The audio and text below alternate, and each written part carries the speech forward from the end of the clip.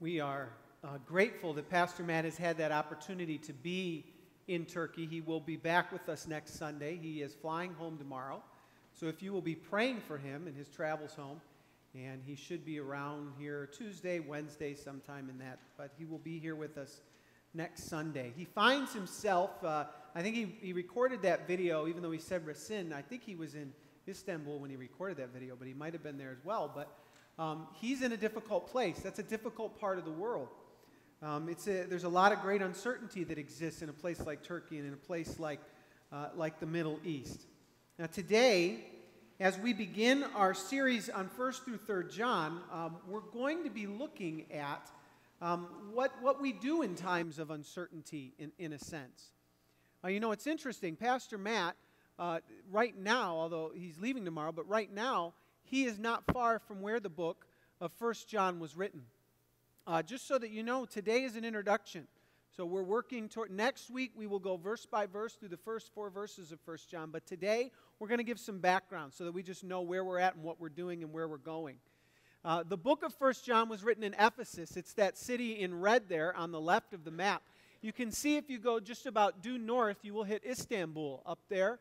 Uh, that's where Pastor Matt is. We believe that First John was written in Ephesus, so not very far from where he is right now. It's likely that this book was written some 60 years after Jesus rose from the dead.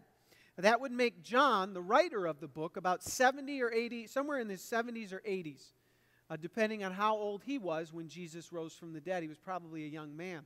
To be 70 or 80 during that time was almost unheard of. Most people died in their 40s or 50s, and so to live that long, it gave you some sort of uh, credential that other people didn't have, gave you some sort of honor. So, John, as he's writing this letter, is writing as the elder statesman of Christianity. You have those elder statesmen in your life, whether it's where you work or in your family, that person that you gather around to hear from. That's who John was. John is the last living disciple as he writes this book. The other disciples have all died of martyr's death. John did not die a martyr's death. He ended up dying of old age in Ephesus. But just being in Ephesus, it wasn't as though that was his retirement home. He never retired, he kept going. All right, he may have been old, but he kept working. And he writes, and as we read this letter, we read and, and we'll understand that there's a deep sense of responsibility that John seems to have for the, for the church a care that he has. He writes about doctrine. He tells them how important it is to believe what is right. There's a story about John that he went into a public bathhouse with some of his friends. And as they went in there, there was a false teacher by the name of Cerinthius that was in there. And when John saw Cerinthius, he got his friends and immediately ran out of the bathhouse. And they said, What are you doing? He said, Listen, we don't want to be in there when God, God gets angry and causes that thing to fall on that man. All right, so he cared about doctrine, and I think, I'm hoping that that was said with a little sense of humor, but he may have been dead serious too. I don't know. He cared about doctrine, he cared about what was being taught. But he also had this care for the heart of people as well. There's another tradition that we have of John that when he was older and was unable to walk himself, he would have himself carried. He would have himself carried into the Christian meetings, whether it was at someone's home or in another uh, facility or something like that. He would have them carried to wherever that meeting was. And when he got there, he couldn't say much. He was older to the point where just speaking was hard, but he would keep saying over and over again, Little children love one another. He cared deeply about the heart of those who were a part of the church. So in John, as we read this, there's this deep connection between doctrine and how we live. There's a deep connection between doctrine and behavior. Too often we separate those things. We go to all the Bible studies in the world and we learn all of these things and we have all of this great knowledge, but we don't do anything with it. It doesn't affect how we live. Or we come on this side and we just love everyone and we're just going to affirm you, love you, hug you, we will hug you and tell you everything is great, and you can do whatever you want, and we will smile at you, but we're going to just stay away from the doctrine. We won't stay away from these things that cause us difficulty. John brings them together. John says, This is how you live. You bring doctrine and the heart right together. And so that's why I think one of the reasons this letter is so helpful. Uh, sometimes when I'm reading the Bible, I come to a passage and I read through it and I'm like, I don't know why I just read that. I don't know if this happens to you, where, where you get to a passage and you read something and you're like, mm, can't, I, I just cannot do much with that. You know, whether you get to like a portion of Nehemiah and you're reading about a, uh, the genealogy and you're like, that's, that's great, thank you. I know everyone who is with Nehemiah. I don't know how that's going to affect my life. For me, it's when I'm reading through Leviticus. You get to the certain part where it's like, you can eat this, don't eat this. Don't eat the rock badger. That one has always thrown me off. You're not allowed to eat the rock badger. Why? Right? And you get there and you read that and then you move on. And, and you're like, that doesn't seem to affect my life in that moment. Sometimes uh, you have to mine those things. You have to study those things. You have to work through those things to understand how it applies specifically to your life. Then there are other times where you open up your Bible and you start to read, and you think that whoever was re- writing this was writing it right for you in the exact moment that you are at in life. As I was studying through John, 1 John, 2 John, 3 John, uh, I kept thinking, is John, is John in the next room? Is John watching the same newscast that I'm watching? Does John know what the Christian church is dealing with here in America? Does John know what's going on? Because it felt like and it feels like as we work through this together, I hope it will feel like this to you as well, that John was writing for us. That John was writing for us in this moment, in this time. We feel sometimes that we're attacked. We're, being, we're in a world uh, where we're told that up is down and down is up. We're being eh, things that were never questioned, never questioned in the past, suddenly are fair game for everything. And so some of us are reeling. You're reeling emotionally. You're reeling intellectually. You, you think, how can people believe certain things? And aren't they thinking the same way that you're thinking? And so you're just, you're just, it's almost like you're shell shocked. Some of you, you worry so much for your children. Oh my goodness, how will I help them grow up in a world like this? And so we have these fears. And what we will find as we work through this book together is that the fears that you may have are the same fears that John was dealing with then. What we think is new to us in reality is only new to the American church in the past 20 to 30 years. This is something, these are things that the church, the Christian church, has been dealing with from the beginning. Because the truth is that the church in Christianity has always been under attack. And a lot of times the attack can come from within. When we went through Galatians, we talked about how Paul, Paul would say things like, uh, or, or, Paul came against the, the, the, false teachers that were coming against the church of Galatia, seemed to come from the Jewish side of the faith. And they would say to people, it's good that you believe in Jesus, but to believe in Jesus fully, you also have to be a good Jew. And so they were adding to the gospel in that sense. This is what you need to do. And Paul said, no, no, it's about Jesus. And it's about Jesus, and it's about Jesus. It's not about these other things. John is dealing with a similar attack, but it's coming from the opposite side. It's not a Jewish believer attack, but it is a Gentile believer attack. And they are coming in and they're saying, listen, it's not just about knowing what you know about Jesus from Scripture and what others have told you. We have other knowledge, we have other things that you have to have. And John, just like Paul, is going to say, no, it's about Jesus, it's about Jesus, it's about Jesus. And that's where he is going to fall. And so this morning, as we start to really work through uh, this book, we have to start by understanding why is John writing this? You know, John is writing this, and we're told in, in 1 John 5.13 that you may know that you have eternal life. He wants to give people confidence because their belief is under attack. And it's under attack by a group of people called the Gnostics. Sometimes, if you're in Bible studies, some people might want to sound smart and they say, well, this is really uh, from the Gnostics, from the early church time. And you're like, the who? Right? The Gnostics were a group of, uh, it's really hard to define them in total, but they were a group of philosophers, of thinkers, and of religious people who believed that salvation came through possessing a special knowledge. And so when Gnostics then came into the Christian fold, they would say it's not just about knowing Jesus, but you also have to have a special knowledge. And so they would say that salvation came through possessing a special knowledge beyond what Scripture taught. The word Gnostic comes from the Greek word gnosis, which means knowledge. And so they were all about being smart. They were looked at as being intelligent, as being the smarter people of the time. We would look at this and think it's a little far out there and it's almost cultish, but back then they were accepted as the academics, the thinkers, the important people. And so, this belief then is what John is dealing with. And it works its way out in three specific ways that we will kind of sense as we go through the book of First John. Now, I should say, there's so, we could, you, you would leave, but we could talk for hours on Gnostics. And we don't want to do that. All right, I'm going to give you three of their main tenets. Some of you may have read about this and you're going to want to talk to me later and tell me what I missed. I understand I'm going to miss things. But we're going to go with three important things. The first is this that the physical world is evil that the physical world that you see is evil. Now, there is a sense in which Christian belief falls in line with this, right? In the book of Genesis, when there's a fall, uh, when sin enters the world, we understand that sin has stained every part of creation, right? That in some way sin has, has its effect on what's going on around us. Paul talked about the days being evil. He said we have to work to redeem the time. John will tell us in this book don't love the world or things in it. So there's a sense that we want to be drawn to this idea that the physical world is evil. Sometimes we get in our little Christian huddle and we talk about how bad the world is. This is terrible. World is terrible. I mean, have you seen this? Have you seen that? Did you watch the news? Do you know what this? Do you have any idea what my neighbor said? Do you know what my uncle did? All these. And we talk about how bad it is. And then we say, but it's okay. It's, it's bad. It's an evil world. But one day it'll burn. And we, and we, we find some sort of comfort, some sort of strange comfort in knowing all of this, though, is going to pass away in fire. We won't have to worry about it anymore. All right? And, and, and that, in a sense, is, is kind of a Gnostic thought that, oh, just forget about the world. The world is evil. And where that really becomes a problem is when you start to talk about Jesus. Because the Gnostics taught that anything physical, all things material, had evil in them.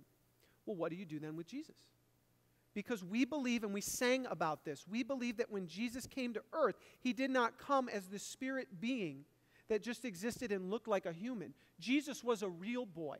Jesus was a real man. He was a real person. He had flesh. If you cut his flesh, he bled. He was real. And so, how did the Gnostics deal with that? This idea that Jesus was both God and man. They would separate those. And they would say it would be impossible for God to have anything in him that would be evil. And so, if we're going to hold to that in its entirety, then Jesus could not have been human. And that becomes incredibly problematic. Because if Jesus isn't human, then his sacrifice isn't enough for us. Then he didn't really live a human life. He just lived this kind of pseudo human life. So, in separating Jesus' humanity and divinity, you, you destroy the very thing that makes Jesus an acceptable sacrifice. And John will point that out. But this was the popular way of thinking, this is what everyone was drawn to. And so, if you didn't want to be laughed at at a party, if you wanted to be looked at as smart, if you wanted to be understood to be in with the times, then this is, of course, what you would believe. Do we not live in a similar time? Where people will say, if you really want to be looked at as respectable, if you don't want to be laughed at in academic circles, if you want to be accepted into the in crowd, you kind of need to water down what you think. Don't talk about sin. You don't talk about what the Bible might say is right or wrong. Don't talk about those things. Talk about things we can all rally around. Water down that important stuff and just stick with things in the middle. Stick with things that are easy. This is easy, this is more culturally acceptable. But it's the way of folly, and Proverbs says that the way of folly leads to death. There are many churches, there are many denominations that have gone this route that have decided we don't want to deal with the difficult things. We're going to water things down so that it will be acceptable to all people. And what happens? No one comes. No one comes because something like that isn't a draw to people. What people want to hear in the end is the truth. They want to hear the truth. They don't want to hear what you have to say to make them feel good. They want to hear the truth. Scripture is the truth. The second problem that we have out of Gnostic teaching is this that the Creator may not be trusted. And I call it the Creator. I don't even say God because the way they explain this, uh, the Creator is so far removed. He created, created, created, created, created, created, and then this person created us. I mean, it's so, it's this pantheon of different creations and all these kinds of things. But the ultimate Creator can't be trusted. The ultimate Creator doesn't know what's best for you. The ultimate Creator really should be rebelled against. All right, and this line of thinking is something that occurred then and it really has flowed throughout of history in it, and it kind of pops itself back up every so often as being the popular thought. We see it in movies and in media a lot in our culture. Ed, our music director, helped me to see this this week as we were talking through this. But a lot of, uh, of the films and even television shows that we're drawn to have this line of Gnostic thinking to it that the creator or the ultimate authority is the one that should not be trusted. Now, I'm going to talk about a couple of films, not to tell you, like, go home and burn them if you have them. All right, but we just sometimes need to understand what the thought process is, process is excuse me, behind what we watch. Uh, when I was young, all, everyone was watching The Matrix when I was in high school. And that was a Christian film, I was told. I don't know if you know that. Many people were saying Matrix is a Christian film. Because look at the beginning, they're like, you can choose one pill or the other. Do you want reality? Do you want the Jesus pill? Or do you want to take this other pill and go down the rabbit hole of your own self existence? And so there were people that were using that. We'll show this matrix, then we'll have a Bible study. And there are themes that you can draw out. But as that trilogy became more developed, it became very clear that what we have was not Christian thought, but Gnostic Christian thought, where the Creator isn't to be trusted, the Creator isn't to be thought of as good, is to be rebelled against. They do not know what is best, they do not know us. Some of you saw the movie Noah a couple of years ago. I saw the movie Noah. Uh, the only thing biblical about Noah is the name Noah. Uh, if you saw the movie, there's, there's nothing else biblical about it. There's a man named Noah, there is a large boat, they may call it an ark, and there's water. Those are the only three things I could find. I saw the movie, there's like rock monsters. There's rock monsters in the movie. I went looking, and I could not find them because I thought this would be a great sermon on the rock monsters of Noah's time. Didn't exist. But what was in there was a, a pervading Gnostic thought that the Creator was wrong. That the Creator instructed Noah to kill his family. That the Creator was somehow just arbitrary, just without reason, angry at his people. He wanted death and destruction, gave no reason for what was happening. Very, very, very different than the biblical account. But it pervades our thinking, it gets into our thoughts, and it's in our culture today, isn't it? God didn't know what he was doing when he made me. God doesn't know who I really am. How I was created is not how I am. Somehow there was a mistake made. We, we latch ourselves onto this in our culture and we start to listen and we start to believe. That's a Gnostic thought. Then the third one, I mean, we, well, we sang about this today, though. We, we sang uh, so often, I do want to make this point, so often we buy into this idea that God isn't good, that God doesn't love us, that God has forgotten about us. But today we sang that He's a good, good Father that we're not forgotten, that we're loved by Him. And that's the truth of what John will get at. The third idea is that salvation requires special knowledge. It would not be enough for you just to know what the gospel said, but someone else would have to come along and share with you exactly what you don't know. There's little pieces of information that you just don't have. You're not going to find it in the Bible, you're not going to find it on your own. I, being the purveyor of special knowledge, can give it to you but you see, if I have that kind of power, I have a lot of power. If I'm the one who has the special knowledge that you need in order to know that you're saved, you're going to move heaven and earth to make sure that you have that. So people were making a lot of money on this. And they were saying you need to have extra information. You have to know more. There was more to be learned than just the gospel. We get this from time to time. Someone may, uh, with their heart uh, meaning well, they may knock on your door with a different book or a, a handout and say, what you, what you think you have, you don't have enough. Here's another testament about Jesus. I always say, well, I have two. That's all I need. Well, they don't need yours. I don't believe that it's, it's another one. Right? but there's people who will say we have additional information. Sometimes it comes from within the church. It's good that you believe in Jesus, but tell me how you vote. It's good that you believe in Jesus, but do you care about the environment? It's good that you believe in Jesus, right? But are you caring about this social justice issue? Now, all those three things can be important, and I think in a lot of ways our faith should inform how we do that. But when we start telling someone, you can't really love Jesus if you vote for that person, then we've gone down the wrong road. All right? And we are telling people that salvation requires some additional kind of special knowledge.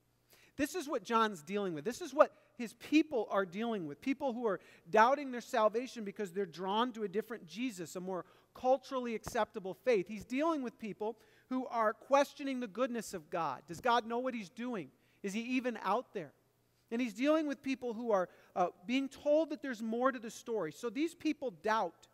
And then John, John writes this letter, and in chapter 5, almost at the end, he says this I write these things to you who believe in the name of the Son of God, that you may know that you have eternal life. I write these things to you that you may know that you have eternal life. It tells us two things. Number one, it tells us that there were people in this early church setting who had doubts. Sometimes we're told that we shouldn't have doubts. And so we feel guilty, there's shame. Oh, I, I doubt, and I'm not, a, I'm not a real believer. I'm not as holy as they are because I have doubts. That is so far from the truth. When we have doubts, we deal with those doubts. We, we lean into those doubts. We, we struggle through those doubts. But people have been doubting forever. And doubting is okay. But then John also tells us you don't have to. You can know. You can know. And so for these three books, these three letters, he's going to outline how can you know? And he's going to do that in three tests that I want to move through pretty quickly. First is this we'll see that there will be a belief test. Do you get Jesus right? Do you get Jesus right? In, in one verse, he says, Who is the liar but he who denies that Jesus is the Christ? When we sang the song Overcomer or Overcome, we talked about we would sing to Jesus and then we would sing to Savior. Savior and then Jesus. When I was growing up, the phrase Jesus Christ to me was a first and last name. I just thought that was his name. That made sense to me. But it's not. All right? Jesus is his proper name, is his given name. Christ is who he was and what he did. Christ means Savior, it means promised one. So when we read about that, we're reading that Jesus, the man, was Christ, the Savior. He was one. So when John says, who is the liar but he who denies that Jesus is the Christ? He's saying if someone says that Jesus the man is not Jesus the Messiah, that they're a liar. And what he means by that is that people would walk around and say, Listen, I don't believe that Jesus the man was Jesus the Christ. There's a different way of seeing this. He's saying, for those people, they're also saying that they're believers. And in saying that, they're lying because they aren't. John's older. John has that kind of freedom to just say whatever he wants. He doesn't sugarcoat that. He doesn't say these people are misinformed or that they misspoke or that they were confused or that they were wrong. He says, if this is what you think, if you believe that Jesus the man is not Jesus the Messiah, and you say you're a believer, you're a liar. That's it. There's no room for discussion on this. If you don't have Jesus right, you're not a believer. So John is saying, please stop calling yourself a believer. Please stop calling yourself a Christian. John sets up time and time again in the letter important truths to believe about Jesus that he's the Son of God, that Jesus was, made, was with the Father for all of eternity, that he was made manifest, that he had a human existence, that Jesus' blood cleanses us, that through him we receive forgiveness, that he's the Savior, and that he laid down his life for the church. He's saying that one of the first important steps when you doubt your faith is to look and understand what do you believe about Jesus? What do you believe about Jesus? Do you want to know if you have eternal life? What do you believe about Christ? This is where it begins. The other two tests are external, dealing with what you do. Those things can be manipulated, but what you believe in your heart cannot. And so you have to have an honest conversation with yourself. What is it that I believe is true about Jesus? And here is the simple way to get Jesus right. The simple way to get Jesus right stick with Scripture, stick with the Bible, read your Bible. Be invested in Bible study. This is the simple way to get Jesus right. If you are getting your information on Jesus from a History Channel documentary or from the Bible on TV, some of these things might be fine. But if you're getting your, your biblical or your, your knowledge and what you believe about Jesus from those things, that's not good enough. You stick with Scripture. Sometimes those things help us to better picture this or give us information that maybe we had not thought of. But when they're telling you something different, go here. Don't come and say, Well, I read the Bible and then I read the Da Vinci Code, and I have, I have some thoughts. Well, let's talk about those thoughts. I mean, you can come and say just about anything to me, and I'm not going to laugh at you and send you out of my office. But what I will say is the Da Vinci Code, while being wonderfully written fiction, possibly, is not where you go to know more about Jesus. You go to J- Scripture, what God gave us to say, if you want to know more about Jesus, here it is. This is where we go. After we deal with that internal question, then we start to deal with the external question. The second test is a behavior test. How do you act?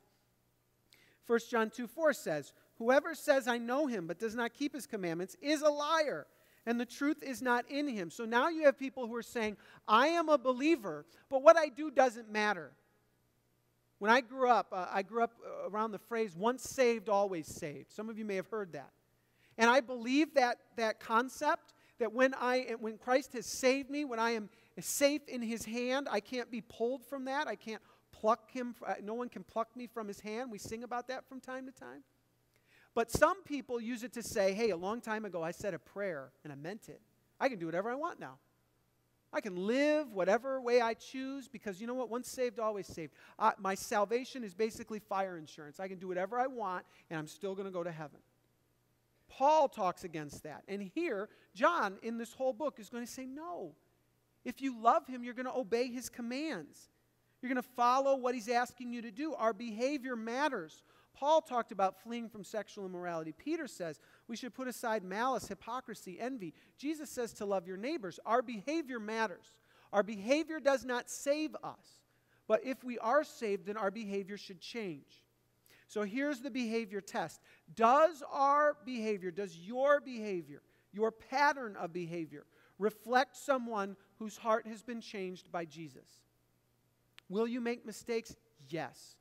You will sin on a daily basis. You will find yourself drawn into temptation. You may uh, struggle with a certain sin un- th- until you find yourself in heaven. But the struggle, the struggle is what is important. If, on the other hand, you continue to commit sinful acts knowing that it is wrong, without care, without guilt, without any kind of shame, then John would say, Scripture says, and I will say, you have cause to doubt your salvation.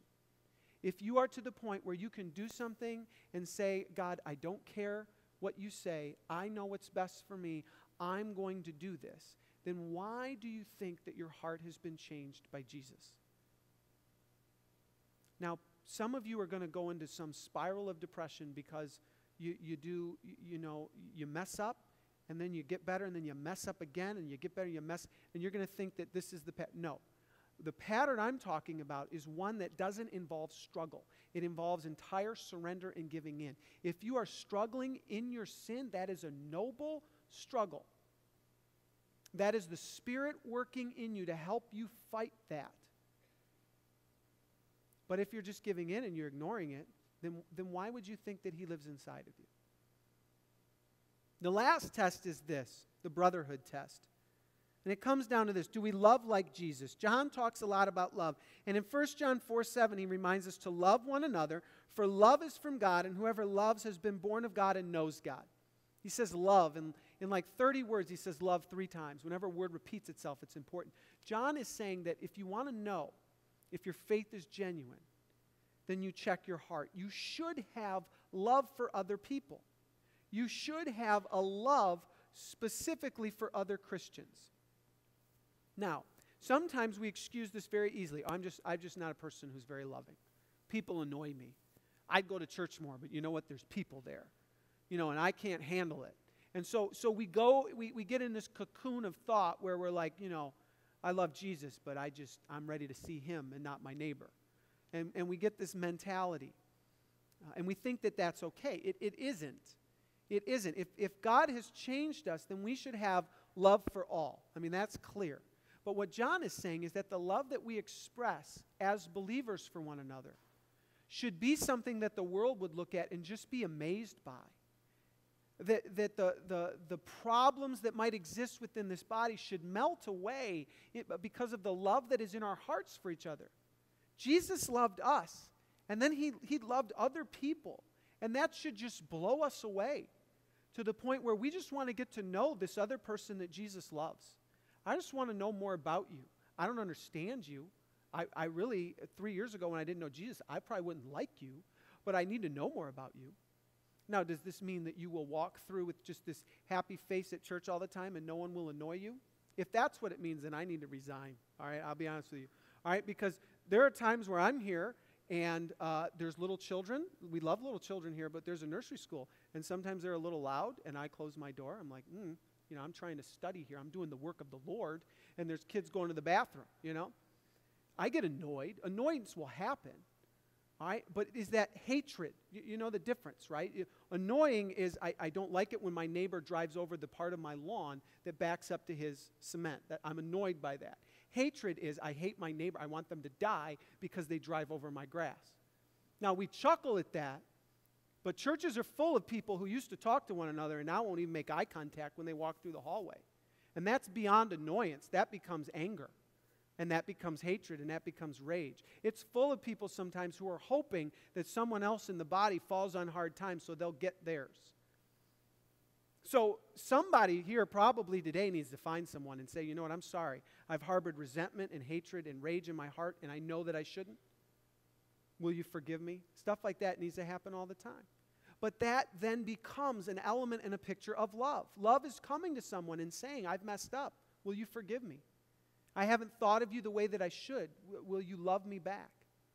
That's what we need to be about. And when we are like that, the world won't know what to do. The world doesn't know what to do with people who just love unconditionally like that. And they will be drawn to this. They will want to be a part of this because they will see how we love one another. Three tests, three tests that John gives us that we're going to kind of unpack as we go through this book together. The belief test, what you believe about Jesus is important. The behavior test, how we live. Do we live like Jesus? And the brotherhood test, do we love like Jesus? Uh, our culture and our world, and I think our, our, our nation, I'm not a doomsayer or anything, but it's, just, it's on shaky ground. We are on shaky ground uh, because we don't have a firm footing really on anything other than what we can agree on in the moment. For us and for our faith to stand in the midst of that kind of a challenge, our faith has to be built on something solid. The people during John's time, they had to build their faith on something solid. And that solid footing is Jesus Christ. That solid footing is our relationship with Him. That's why we talk so much here about making Christ the center of your life. That is where you build your life. So, as we close this morning, we're going to sing. We're going to sing a song. And the first words of this song read, My hope is built on nothing less than Jesus' blood and righteousness. Period. If we could just own that, that my hope, my trust, my faith, my world is built on nothing less than Jesus' blood, what He's done for us, and His righteousness that makes us okay with God. Later, that song says, I wholly lean on Jesus' name. You want to have faith? You want to know that what you have is real? Build your faith on Him and lean on Him. Will you stand with us? Sing this with us. Hope is built on nothing less than Jesus' blood and righteousness. I dare not trust the sweetest frame, but wholly lean on Jesus' name. Sing this on Christ. On Christ the solid rock I stand, all other ground sand. All other ground is sinking sand. When darkness veils his loving face, I rest on his unchanging grace. In every high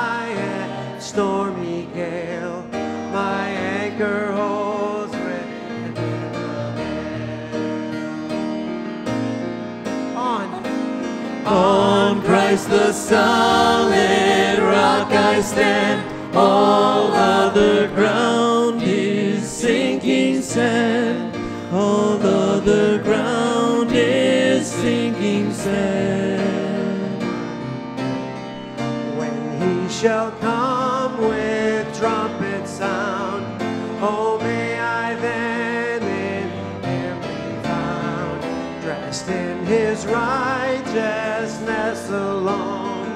For less to stand before the throne.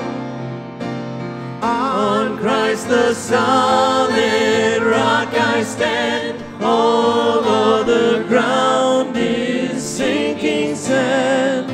All other ground is sinking sand. Would you sing the chorus again. On Christ the solid rock I stand. All other ground is sinking sand. All other ground is sinking sand. prayer. Father, it is our prayer that as we go from here, our faith will be built on you.